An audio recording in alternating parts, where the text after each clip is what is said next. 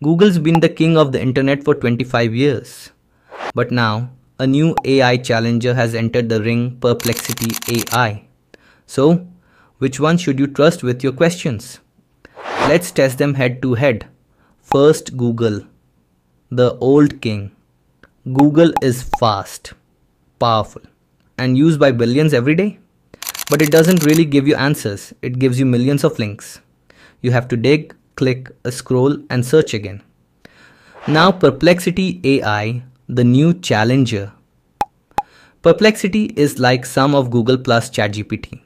You ask a question and boom, it reads the internet live, summarizes it, and gives you the actual answer with sources. Here's how they stack up Google, massive data, but you do the digging.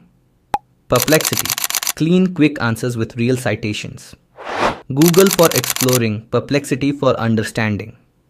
So, Google is still the GOAT for exploring, but if you want instant, clear, AI powered answers, Perplexity is the future. Use both together and you get the best of speed, depth, and clarity. Found this helpful? Follow for more insightful tech comparisons.